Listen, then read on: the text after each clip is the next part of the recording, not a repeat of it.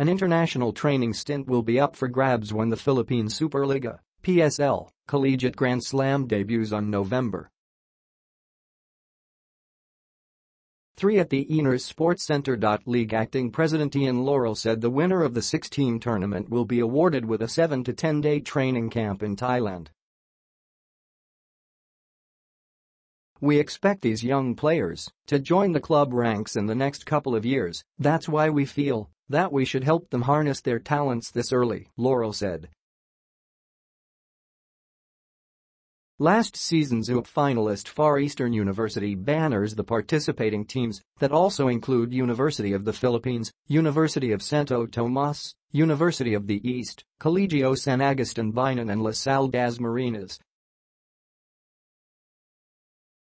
Matches will be played mostly on Saturdays. PSL chairman Philip Ella Juico said hosting the league's first collegiate tournament is aimed at strengthening ties with the institution of higher learning.